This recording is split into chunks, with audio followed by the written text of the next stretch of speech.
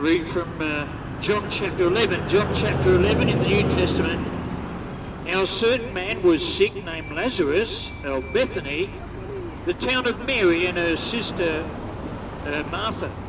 It was that Mary which uh, anointed the Lord with ointment and wiped his feet with her hair, whose brother Lazarus was sick. Therefore his sisters sent unto him, saying, Lord, behold, he whom thou lovest is sick. When Jesus heard that, he said, This sickness is not unto death, but for the glory of God, that the Son of God might be glorified thereby. Now Jesus loved Martha and her sister and Lazarus.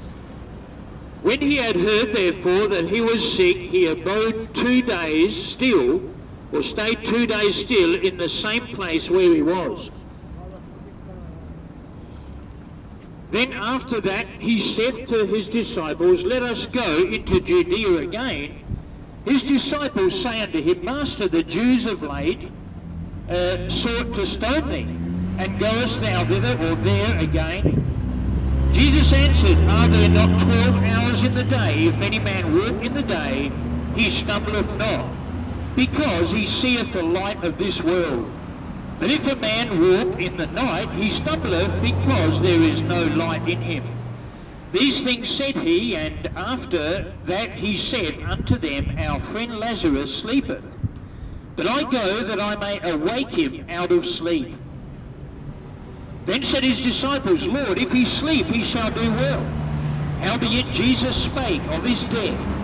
They thought that he had spoken of taking of rest in sleep. Then said Jesus unto them plainly, Lazarus is dead. And I am glad for your sakes that I was not there, to the intent ye may believe. Nevertheless, let us go unto him. Then said Thomas, which is called Didymus, uh, unto his fellow disciples, Let us also go that we may die with him. Then when Jesus came, he found that he had been lain in the grave four days already. Now Bethany was nigh or near unto Jerusalem, about fifteen furlongs off. And many of the Jews came to uh, Martha and Mary to comfort uh, them concerning their brother. Then Martha, as soon as she heard that Jesus was coming, went and met him, but Mary sat still in the house.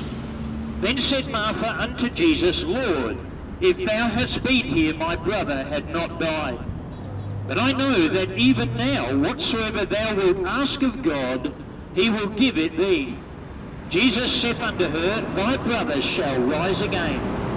Martha said unto him, I know that he shall rise again in the resurrection at the last day. Jesus said unto her, I am the resurrection and the life. He that believeth in me, though he were dead, yet shall he live. And whosoever liveth and believeth in me shall never die. Believest thou this? This is what God wants for each and every one of us, that we would be saved, that we would come to be a child of God through faith in the Lord Jesus Christ. You see, when we're born into this world, we're born as sinners. For all have sinned and come short of the glory of God. Being justified freely by his grace through the redemption that is in Christ Jesus. Now, you and I have a great need of salvation, of forgiveness for our sins. The only way we can receive forgiveness is through the precious shed blood of the Lord Jesus Christ, which he shed for us upon the cross of Calvary. You see, Christ died for our sins according to the Scriptures. He was buried, but praise God, the third day he rose again according to the Scriptures. She said, this is verse 27 of John 11, she said unto him, Yea, Lord, I believe that thou art the Christ, the Son of God, which should come into the world. And when she had so said, she went her way and called Mary, her sister, secretly, saying, The Master is come, and calleth for thee. As soon as she heard that, she rose quickly and came unto him. Now Jesus was not yet come into the town, but was in that place where Martha met him. The Jews then, uh, which were with her in the house, and comforted her when they saw Mary, that she rose up hastily and went out, followed her, saying, She goeth unto the grave to weep there. Then when Mary was come where Jesus was and saw him, she fell down at his feet, saying unto him, Lord, if thou hadst been here, my brother had not died. When Jesus therefore saw her weeping, and the Jews also weeping, which came with her, he groaned in the spirit and was troubled, and said, Where have ye laid him? They said unto him, Lord, come and see. Jesus wept. That's the shortest verse in the whole of the Bible. Jesus wept. We see the compassion of the Lord Jesus Christ.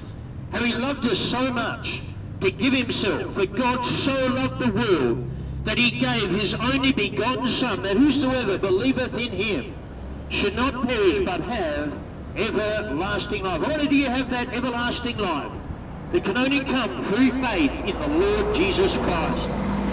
Then said the Jews, Behold, how he loved him. And some of them said, Could not this man which opened the eyes of the blind have caused that even this man should not have died? Jesus therefore, again groaning in himself, cometh to the grave. It was a cave, and a stone lay upon it. Jesus said, Take ye away the stone. Martha, the sister of him that was dead, saith unto him, Lord, by this time he stinketh, for he hath been dead four days. Jesus said unto her, Said not I unto thee, uh, said I not unto thee that if thou wouldest believe, thou shouldest see the glory of God? Then they took away the stone from the place where the dead was laid, and Jesus lifted up his eyes and said, Father, I thank thee that thou hast heard me, and I knew that thou hearest me always, but because of the people which stand by, I said it, that they may believe that thou hast sent me. And when he thus had spoken, he cried with a loud voice, Lazarus, come forth. And he that was dead came forth, bound hand and foot, with grave clothes, and his face was bound about with a napkin. Jesus said unto them, Loose him, and let him go. Then many of the Jews which came to Mary and had seen the things which Jesus did, believed on him. But some of them went their ways to the Pharisees and told them what things Jesus had done. Then gathered the chief priests and the Pharisees a council and said, What do we? For this man doeth many miracles.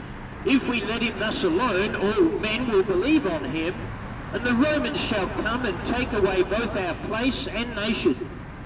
And one of them, named Caiaphas, being the high priest that same year, said unto them, Ye know nothing at all, nor consider that it is expedient. It is expedient for us that one man should die for the people, and that the whole nation perish not.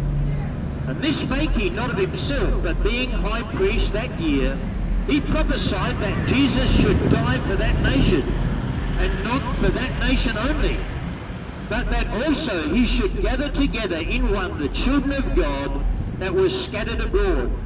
And from that day forth Yeah. they took counsel together get for to put him to death. Up. Jesus therefore walked no more openly No, among the Jews, but went thence Yeah, unto a country near to the wilderness, from number one kid. into a city called Ephraim, and there continued with his too much of a disciples. And the Jews' Passover was nigh at hand, that means near at hand, and many went out of the country up to Jerusalem before the Passover to purify themselves. Then sought they for Jesus, and spake among themselves, as they stood in the temple, What think ye, that he will not come to the feast? Now both the chief priests and the Pharisees had given a commandment that if any man knew where he were, he should show it, that they might take him.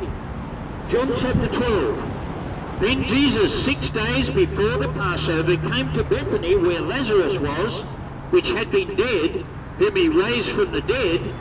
There they made him a supper, and Martha served, but Lazarus was one of them that sat at the table with him. Then took Mary a pound of ointment of spikenard very costly, and anointed the feet of Jesus, and wiped his feet with her hair. And the house was filled with the odour of the ointment.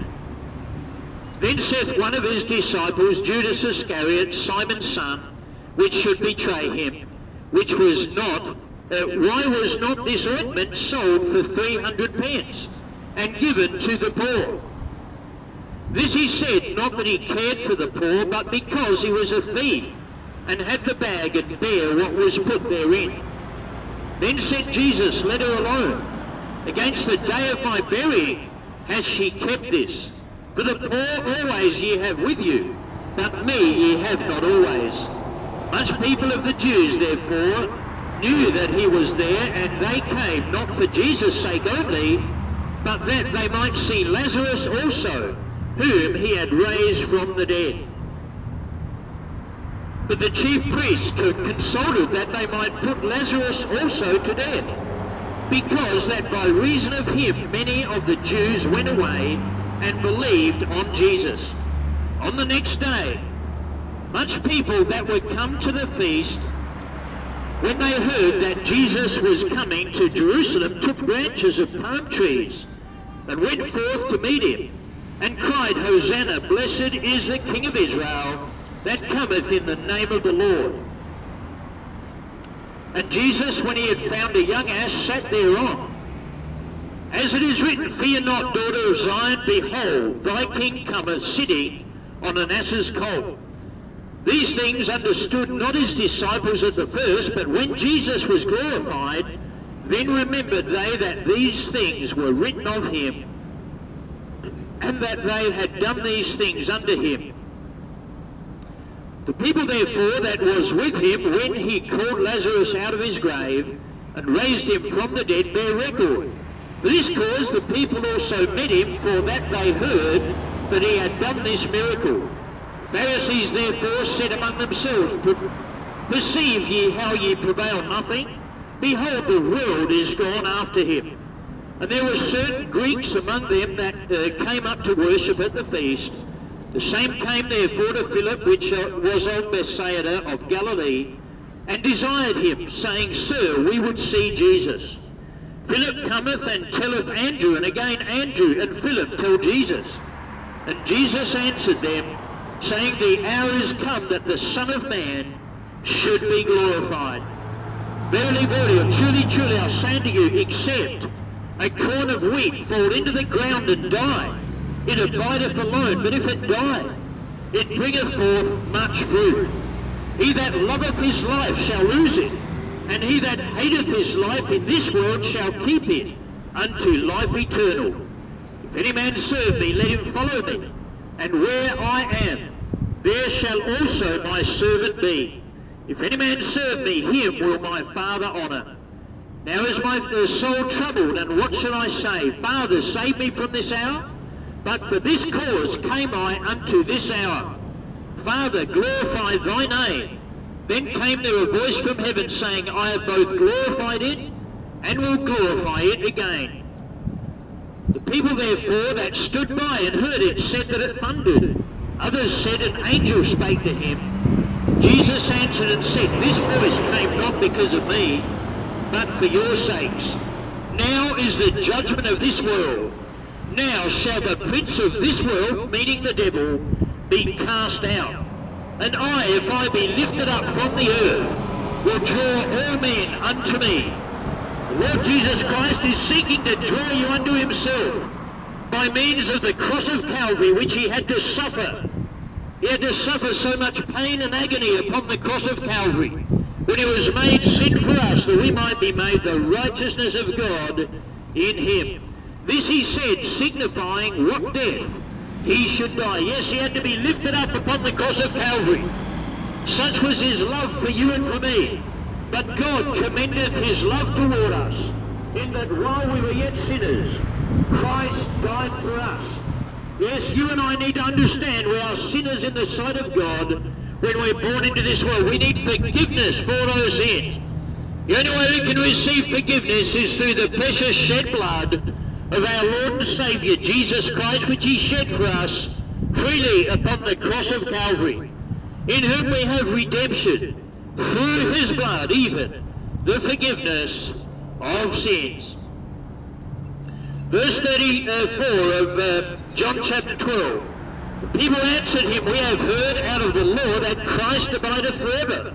And how sayest thou the Son of Man must be lifted up? Who is this Son of Man? Then Jesus said unto them, Yet a little while is the light with you. Walk while ye have the light, lest darkness come upon you. For he that walketh in darkness knoweth not whither or where he goeth. While ye have light, believe in the light, that ye may be the children of light. These things spake Jesus and departed and did hide himself from them. But though he had done so many miracles before them, yet they believed not on him. You see, the Jews should have known this. These miracles were done for the benefit mainly of the Jews, that they would understand that this is the very Christ, God's anointed, the King of Israel, the King of kings and Lord of lords. He's the one that will rule this world with a rod of iron one day, but it's not yet. You and I need God's salvation urgently. We need to become children of God. The only way we can become children of God is being born again into God's family through faith in our Lord and Saviour, Jesus Christ. It says here, um, I'll just repeat verse 37 of uh, John chapter 12. But though he had done so many miracles before them, yet they believed not on him. That the saying of Isaiah the prophet might be fulfilled, which he spake, Lord, who hath believed our report, and to whom is the arm of the Lord have been revealed. Therefore they could not believe because that Isaiah said again, He hath blinded their eyes and hardened their heart, that they should not see with their eyes, nor understand with their heart, and be converted, and I should heal them. These things said Isaiah when he saw his glory, and spake of him. Nevertheless, among the chief rulers also many believed on him. But because of the Pharisees, they did not confess him, lest they should be put out of the synagogue. For they loved the praise of men more than the praise of God. I wonder, to describe you? Would you be thinking that, well, if I am become a Christian, if I'm born again into God's family through faith in the Lord Jesus Christ, people will think I'm an idiot. And you'll be an outcast. Do you really love the praise of men more than the praise of God? God is the one with whom we have to do. We have to understand that God is no respecter of persons. For all have sinned and come short of the glory of God. We have a great need of forgiveness for our sins. That forgiveness is only offered to you on the basis of the finished work of the Lord Jesus Christ. The Lord Jesus Christ having been crucified upon the cross, he is the only answer to our big dilemma of sin. We need forgiveness for those sins. And that forgiveness is only offered through the precious blood of the Lord Jesus Christ. As a lamb without blemish and without spot, in whom we have redemption, through his blood even, the forgiveness of sins. What do you need to do? You need to come in repentance toward God.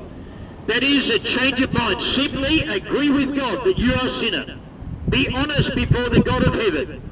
We can't pull the wool over God's eyes. We can't hide anything from God.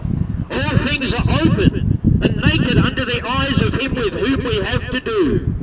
Even the things that we do at night, that dodgy site you're clicking on or whatever it might be on the internet, watching those dodgy movies, whatever they are, God knows exactly what's in our heart. And those things are bad. The heart of man is desperately wicked. Above all things, who can know it? I, the Lord, try the hearts, he says. So God knows what's in our heart. We need to understand. We have a wicked heart before the Lord. But there is good news. For God so loved the world that he gave his only begotten Son, that whosoever believeth in him should not perish but have everlasting life. Just acknowledge before God that you are a sinner and then put your faith in our Lord and Saviour, Jesus Christ. For whosoever shall call upon the name of the Lord shall be saved. Verse 44 of John chapter 12, Jesus cried and said, He that believeth on me believeth not on me, but on him that sent me. And he that seeth me seeth him that sent me. I am come a light into the world, that whosoever believeth on me should not abide in darkness. And if any man hear my words and believe not, I judge him not, for I came not to judge the world, but to save the world. He that rejecteth me and receiveth not my words, hath one that judgeth him the word that I have spoken. The same shall judge him in the last day. For I have not spoken of myself, but the Father which sent me, he gave me a commandment what I should say and what I should speak. And I know that his commandment is life everlasting. Whatsoever I speak therefore, even as the Father said unto me, so I speak. You see, the, the Lord Jesus Christ, the Son of God, came down from heaven at the request of his Father in heaven. The Father sent the Son to be the Saviour of the world. But is he your Saviour?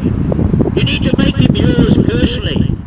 Yes, he's available for the whole world to be saved, but the whole world will not be saved because they will not come before God and admit before him, yes, I realise I'm a sinner. Just be honest before God. Repentance toward God. Change your mind. Agree with God that you are a sinner. And then put your faith in our Lord and Saviour, Jesus Christ. For whosoever shall call upon the name of the Lord shall be saved. You see, time is running out. We need to understand the great need we have of eternal salvation. That salvation is absolutely eternal, so that if you believe on the Lord Jesus Christ, you can never ever lose your salvation. You will be a child of God for all eternity. No one can ever lose their salvation. I wonder, are you concerned about your soul? Have you believed on the Lord Jesus Christ? Have you become a child of God? You need to become a child of God through faith alone in our Lord and Saviour, Jesus Christ. Well, I hope, I, I hope I've made it plain that we're sinners in the sight of God. We need forgiveness for those sins. The only way we can receive forgiveness is through the precious blood of the Lord Jesus Christ. As a lamb without blemish and without spot, he was crucified for us upon the cross. Yes, he was crucified. He shed his precious blood that day when he was crucified for the cleansing of our sin. But that's not automatic. We need to make him our own Saviour in a personal way. Otherwise we'll never ever be saved. For whosoever shall call upon the name of the Lord shall be saved. Why not do it now before it's forever and eternally too late? At the moment of death, it's either heaven or hell. I wonder, what will it be for you? It's all determined by what you do with our Lord and Saviour, Jesus Christ. If you're interested in this, look me up, youtube.com forward slash peace by Jesus Christ. God bless you, and thanks for listening.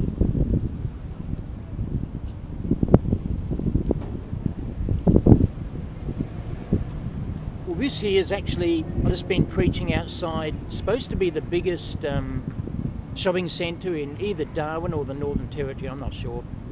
It's called Cash, Arena, Arena Square. I think at least I think that's what it's called. That's what it says up there. Uh, yeah, Cassia, Arena Square. Sorry if I'm saying it wrong you folks in Darwin. But anyway, I hope you've understood the gospel of our Lord Jesus Christ. It's so essential that you get right with God as a result of repentance toward God, as I keep on saying. Basically, change your mind. Agree with God that you are a sinner, and then put your faith in our Lord and Saviour, Jesus Christ. Well, it's almost time for us to, well, a few hours' time, we've got to uh, fly back Queensland, but it's been great here in Darwin. Really enjoyed the time here. But um, hopefully I'll get into the city uh, tonight and do a bit more preaching, maybe in some of you know the nightlife sort of area. That's what I'm hoping to do anyway. Anyway, God bless. Thanks for looking at this, and um, you need salvation. You need forgiveness for your sins through faith in the Lord Jesus Christ, in whom we have redemption through His blood, even the forgiveness of sin. God bless you and thanks for listening.